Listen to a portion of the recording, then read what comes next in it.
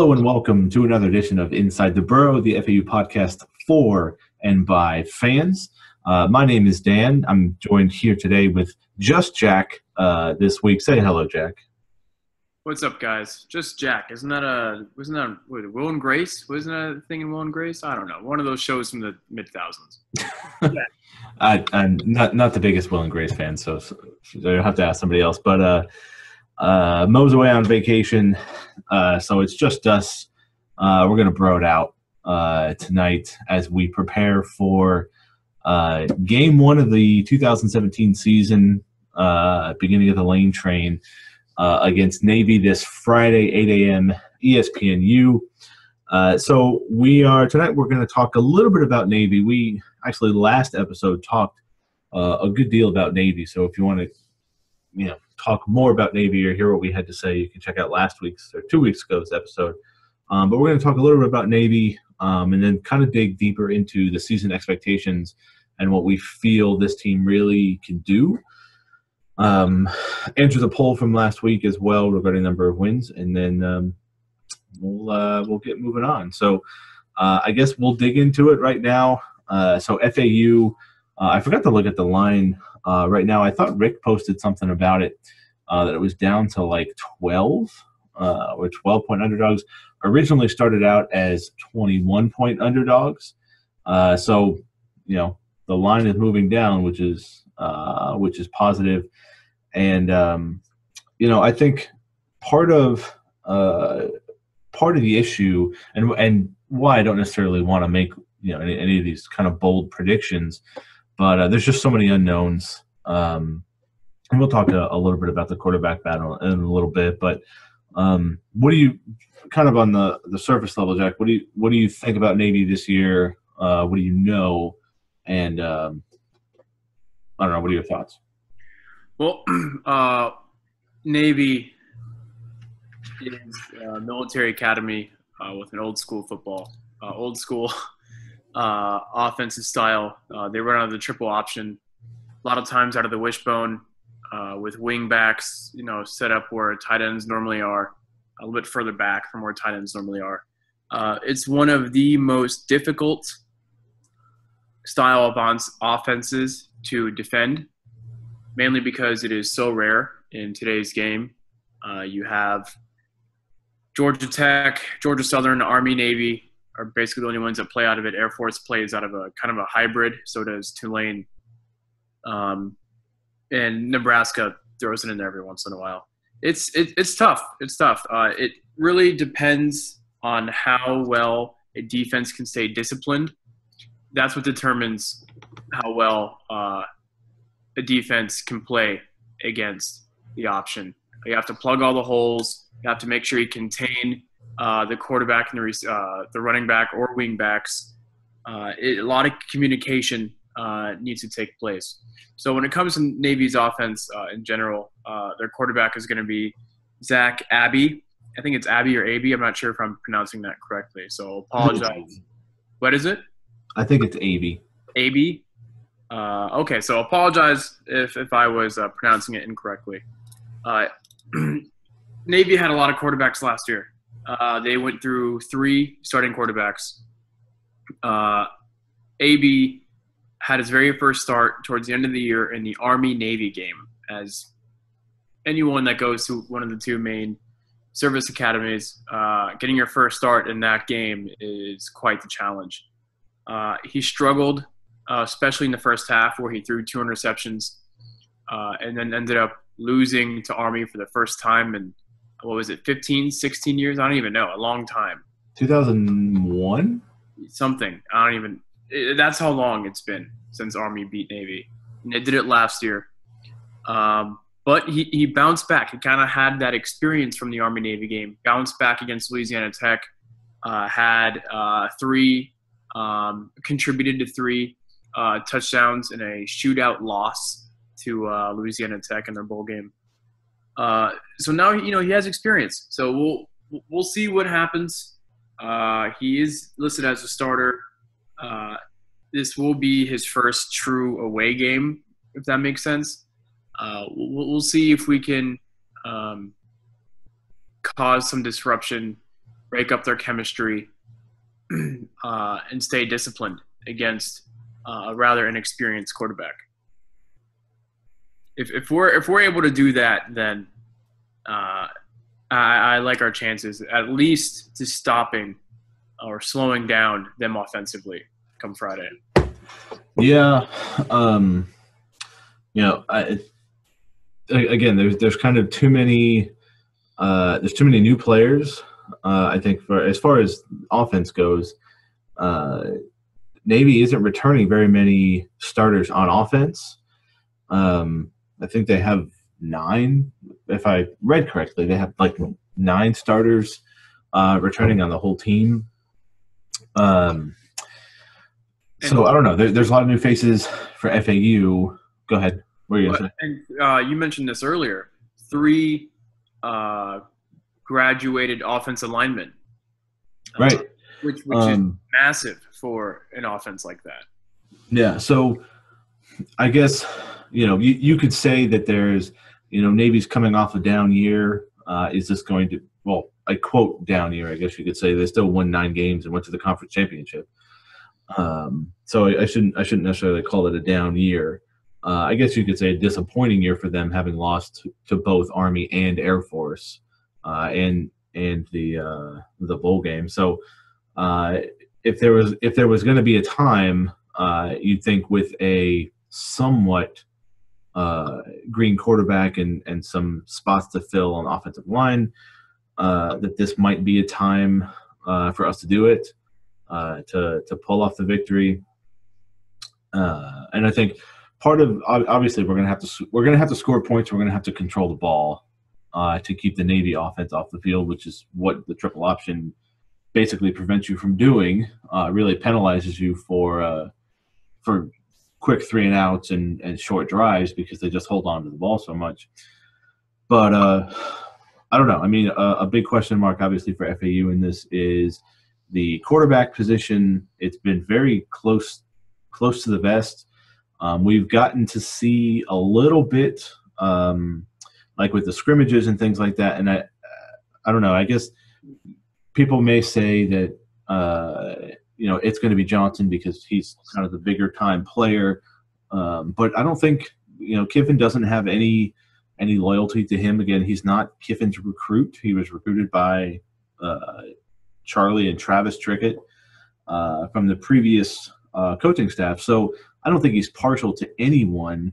Um, and Jack and I were kind of discussing this beforehand. I, I think Johnson probably is the best athlete, and he can get out of bad situations. Um, you know, if a play breaks down, but in this is in this kind of offense that that we're going to run, uh, is it's not necessarily going to be very pass heavy, but it's not going to require a mobile quarterback. So, are you going to want a quarterback that's uh, you know mobile that way, or that many people have noted that Parr probably has the strongest the strongest arm, and then Driscoll's probably the most accurate. Um, I don't know. It, will it'll be interesting uh, interesting to see what happens. It, it's I I just don't want to give up on DeAndre Johnson um, at least before he even had a shot to start a game yet. He is the most athletic out of the bunch. I have been itching for an athletic uh, dual threat quarterback for quite some time. In NCAA, I'd always run uh, like a triple option out of a spread in the NCAA video game. Uh, so I needed that that dual threat quarterback, and it's a shame that we haven't been able to uh, find one yet. Uh, thanks a lot, Melvin Germain, uh, the third. but uh, MG3. MG3, yeah, he's going to win a Heisman. There you go. Um, but I mean, it's it's. Uh, it, Kiffin said this when it comes to the starting lineup. It might not be about the best individual players will be starting, the most athletic players, most uh, the strongest, the fastest can give us the best opportunity to win on that given day. Uh, if, if it's Driscoll on Friday, then it's Driscoll. If it's Par, it's Par. Uh, as long as we can make it to a bowl game, I don't care who's under center. It's um, I, I'd love to stay on the DeAndre train. It's great publicity for the program. If it doesn't work, it doesn't work. and it could be again. This is this is the first game of the season, and if there hasn't been any very clear separation in the quarterback battle, there's a good chance the quarterback battle will continue on um, into the season. It could be after we get to Bethune, and uh, whoever started the first game, they're they're out, and you know it could be if Driscoll's starting this Friday, um, you know, and he has a bad game or doesn't, you know, Kiffin doesn't see what he likes against uh, Navy and Wisconsin. Uh, it could be Johnson or Parr out there. So I, I don't think what we see on on Friday is going to be whoever starts. I would, I, because there hasn't been any real clear separation. I, I think we'll probably see some sort of rotation in quarterbacks, and then by the third game, we're going to have things kind of settled. And that's exactly what happened. And again, we talked about this last last show. That's kind of what happened in 2012, uh, or two, excuse me, 2013 with Quez and um, Greg Hankerson. yeah, where it was just kind of back and forth, and then that the ECU game, I think, um, Quez kind of took over, even though Greg had, I think, the one touchdown pass in that game. But Yeah. Um, Um, yeah, the one touchdown pass. That was a rough one. I, I feel like we've always had some sort of a quarterback controversy here. Uh, years ago, it was, uh, geez Louise, Graham Wilbert and David Kooi, and then Stephen Graham- Curtis, Graham Wilbert and Stephen Curtis, and then uh, Hankerson and Quez, then throw in DJ Justy in there for a little bit. Mm, Quez got it, but then Quez got hurt uh, in his in his big final year, and Driscoll was thrown into it. And Driscoll, he had some bright spots, uh, but we still weren't happy with the situation. On comes Parr. Uh, Parr starts threatening for his uh, starting job, and now we have three guys. You know, when when can we just get a stable quarterback? yeah, That's that's I don't know. When and can we next year we'll have you know a four-star quarterback and Chris Robison uh, Yeah. in the mix, anyways. But um, yeah, so I, I don't know. We'll we'll see. We're not gonna. We've already, we've probably already talked too much about it, and um, like I said, I, I don't think who we see start on Friday night is really going to matter. Um, I think we're going to see a bit of a bit of rotation. a lot of Uh, rotation, as you can see from the depth chart. There's going to be a lot of rotation on both sides of the ball, which is good because we finally have depth. Um, again, it just comes down on who can be the best on that play to help us win. Uh, I, I'm not sure if we're going to beat Navy again because it's such a hard team to compete against. Uh, but we'll, we'll find out in due time. Yeah, it it, w- it would be good. I mean, it's it would be great because coming back to the third game of the year, it'd be awesome to be one and one instead of zero and two. Um, and I think how we do in that Navy game is, I, I it. I don't know. I think how the offense performs in that Navy game is going to be pretty telling on on the rest of the year, um, which is a good segue to uh, to what we're going to talk about next uh, as far as season predictions. Uh, so thank you all for those who who voted on the poll, uh, the Twitter poll, and the uh, poll that was on the owlsnest.com. And uh, mostly everybody, uh, very few people think we're going to win eight games. Uh, the vast, vast majority of people think uh, we're going to win six to seven games of people eligible. Uh, nobody thinks we're going to win three games this year, which is pretty great. So um, I don't know, and, and I'm I'm right there. I I think I'm more in the five to six win range. Uh, I'm looking at the schedule here. Navy and Wisconsin, I'm counting as a loss. So we're 0 2. Bethune, I see as a win. Buffalo, I see as a win. Middle Tennessee. th- Come uh, on, there's- that's, that's a loss. there's nothing we haven't beaten them since 2007 um, i don't see if anything they've gotten better um, and we haven't gotten good enough uh, to beat them. So i see that as a loss. So what we are two and three at that point.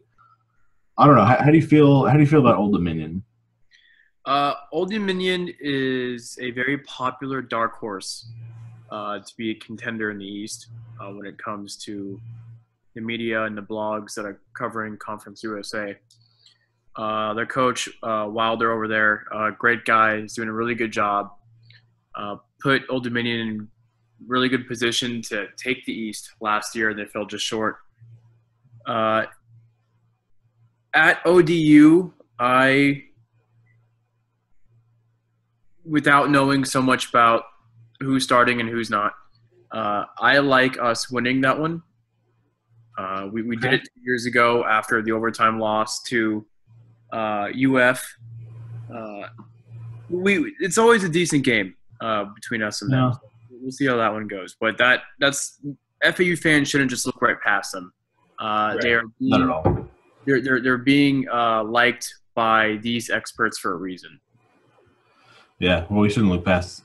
We shouldn't let, look past anybody because we're God, FAU. you shouldn't look past Bethune Cookman. Look what they did at FIU a couple years ago. That's true. Um, uh, then we've got North Texas at home. That's a win for me. Uh, Western Kentucky at Western Kentucky. That's that's a loss. The the Marshall game. We've got Marshall at home. The return of Trey Rodriguez uh, to FAU at that point in November. I'm gonna count it. I'm gonna count it as a win. Um, some people are saying that this will be Marshall's uh, bounce back year. I don't know. I, I'm I- I'm thinking that, that we're going to pull that out. Um, do you have any thoughts on Marshall? Uh, Chase Litton, if he stays healthy, um, he's a great quarterback, tall guy. What is he like six eight? It's insane how tall. he is. Uh, from I don't know. I, Ta- Tampa Gaither or Tampa Wharton. I can't remember. Um, he he went down pretty early last year, done for the season, and you could see just Marshall's offense just plummet since then. I mean, we we almost beat them. That goes to show how bad they were last. Uh, so if he stays healthy, now with the solid running game with Trey Rodriguez, it's going to come down to whether or not their defense can basically stop anybody at least once. Stop anything with a pulse. that's something that they really couldn't do well last year. And again, that's something we would know uh, when it comes to defenses last season. Uh, I see that as a loss just because we haven't beaten them yet. I don't see until this team shows me something different. This program shows me something different. The teams that have had our number, the coaches, staff, staffs that have had our numbers, um, I don't see anything different happening yet. I'm so I'm I'm taking the L on that one. Okay. Uh, at Louisiana Tech, taking an L on that one. At FI or at at home against FIU, that's an easy win. Yeah, Um, easy. That's easier than Bethune Cookman. Come on. Yeah, and then closing the year out at Charlotte. Uh, I'm gonna say I'm gonna say we're gonna end the year uh, with a W on the road against Charlotte. Charlotte certainly improved. They beat us last year, um, but I think we're probably about uh, about equal. So um, I would I would say that. So that puts me at what I had: Charlotte, FIU, Marshall, North Texas, Bethune, and Buffalo. Well, Right.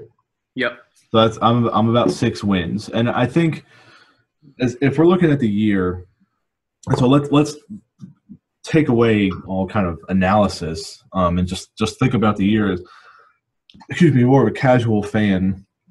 Anything more than three wins, I, I think the pressure that's going to be on the team.